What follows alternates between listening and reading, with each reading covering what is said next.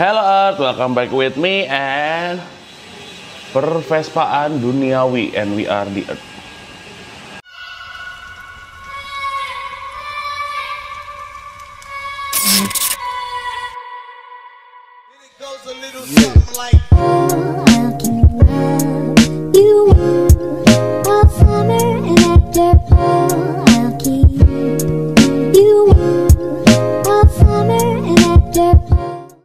Oke guys, jadi di video kali ini gue mau nunjukin kita lagi kebanjiran banget Pervespaan.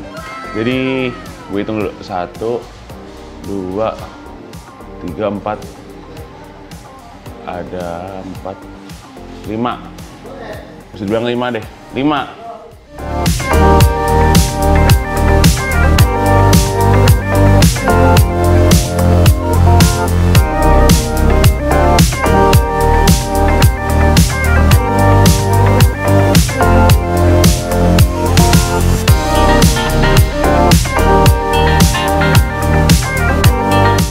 Udah ada 5 Vespa, kita lagi kerjain semua. Yang ini udah beres nih. Repaint dibikin kayak Vespa Sprint yang baru warnanya. Cuman ini Primavera, ini Primavera. Eh, tadinya warna silver. Terus ya udah ada beberapa crash kemarin di beberapa titik ada baret-baret segala macam bonyok kita lurusin dulu semua dan wala udah nice one. Yeah boy. Pokoknya ini udah kayak baru lagi. Jadi nanti kita tinggal nunggu ini dirakit dulu, terus kita poles. Jadi deh, ini salah satu project dari skuter 0231 juga. Jadi pokoknya eh, kalian yang mau cat-cat motor apa segala macam bisa langsung ke kita. Eh, untuk bongkar-bongkar bisa di sana.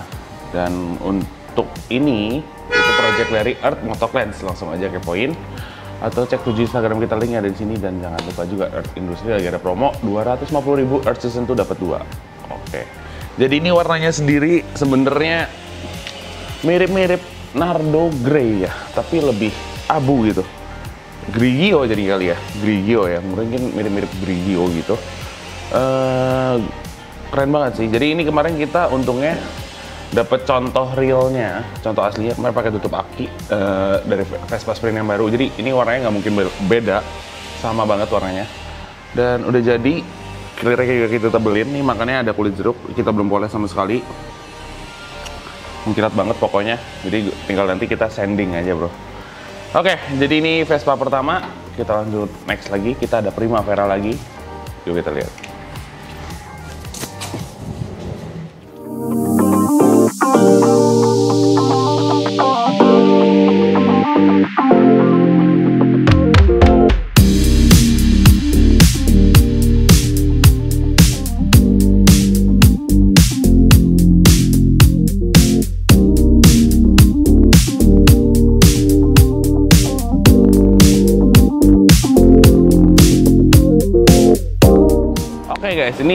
Vespa kedua Primavera lagi, tapi ini udah convert jadi Sprint. Kalian bisa lihat di batoknya, lampunya udah kotak. Ini kita convert. Eh, terus ini gaya-gayanya mau dibikin gaya-gaya eh apa tuh namanya ya? Pokoknya gaya-gaya Superman gitu deh.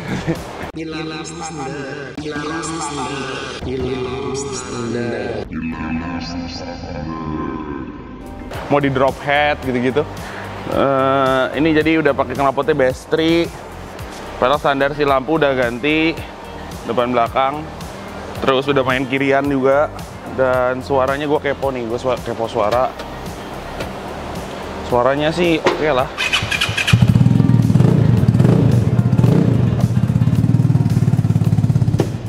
Kencang-kencang.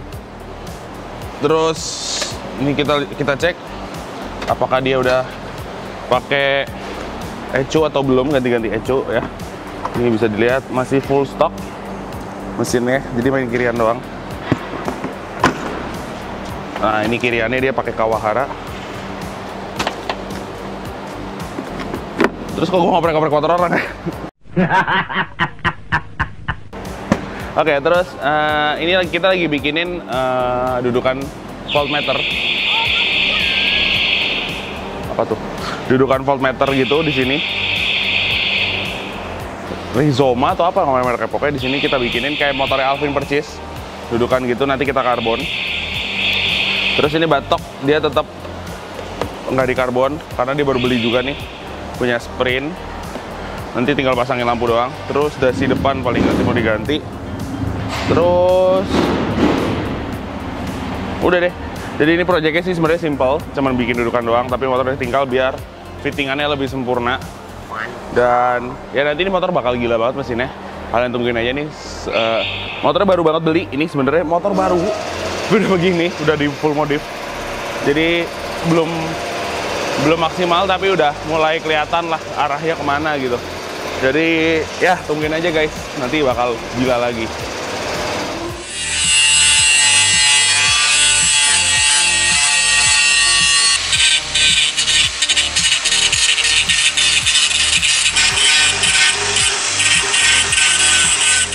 ini ada lagi. Kita ada Vespa Sprint. Lagi body repair ini masih panas banget besinya. Ini kemarin ada bonyok kita benerin. Terus nanti kita repaint lagi. Jadi ya nggak banyak bahasan di sini kali ya. Ya.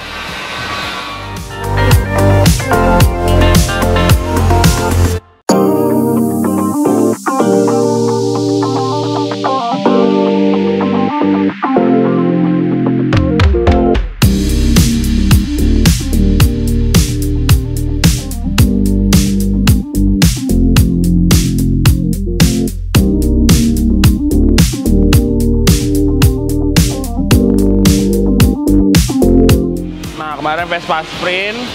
Itu Vespa Sprint tadi ya pokoknya repair-repair doang. Nggak usah kita bahas kali ya.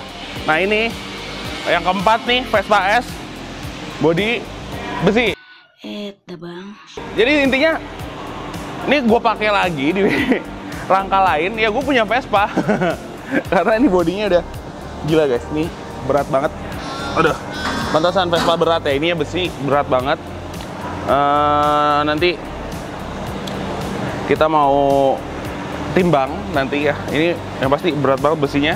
Dan yang kelima. Jadi lima tuh sama ini ya.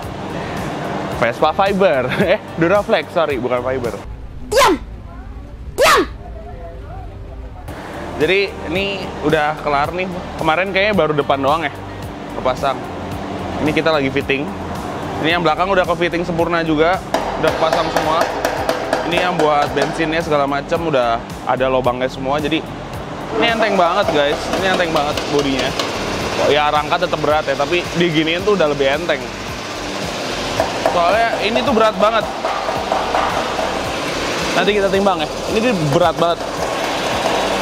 Ini tuh berat banget. Jadi kalau ka- tapi gue mau ngasih tahu ini bentuk tuh sama ya. Ini bentuknya sama banget jadi ini sekalian update aja karena kemarin kayak di video kemarin tuh yang belakang belum kepasang ya. Ini udah kepasang dan untuk masalah tebel tebelnya sama. Tapi dia ringan banget karena balik lagi Duraflex dan ini dia lentur. Bisa gerak-gerak. Tuh. jadi eh sebenarnya tanpa perlu di bore up main kirian knalpot diringanin pakai body ini udah enak banget karena kelihatan beratnya gitu loh. Karena di motor tuh berat beban paling pengaruh. Makanya joki-joki tuh sampai nggak mau pakai helm. Kalau yang biasa di jalan gitu ya nggak pakai sendal nggak pakai helm gitu yang pokoknya saya enteng-entengnya deh sekurus-kurusnya. Nah kenapa ya?